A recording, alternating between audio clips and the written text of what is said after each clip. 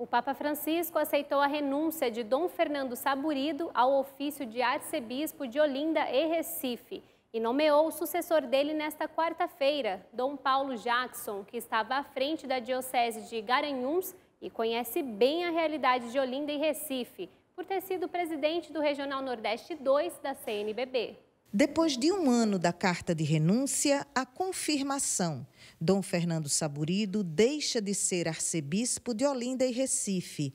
Em vídeo postado nesta quarta-feira pela manhã em suas redes sociais, ele revelou que o Papa Francisco aceitou sua renúncia e divulgou a nomeação de seu sucessor, Dom Paulo Jackson, até então bispo da Diocese de Garanhuns. É uma pessoa que eu fico feliz, porque realmente eu, eu conhecia aqui, quando via Garanhuns, não conhecia antes, ele é paraibano, de Patos, mas sempre tive uma boa impressão dele, uma pessoa bem preparada, muito bem formada, é, doutor em Bíblia, de modo que pode ajudar muito a, a arquidiocese é, nesse sentido da formação, da, da educação cristã. Também, atualmente, ele é o segundo vice-presidente da CNBB, foi eleito recentemente. O arcebispo eleito Dom Paulo Jackson divulgou vídeo sobre sua nomeação.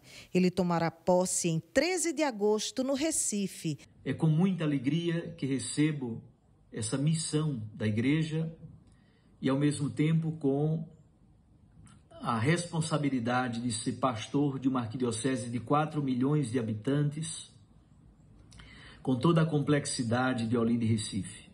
Bênçãos de Deus, um abraço, conto com as orações de todos.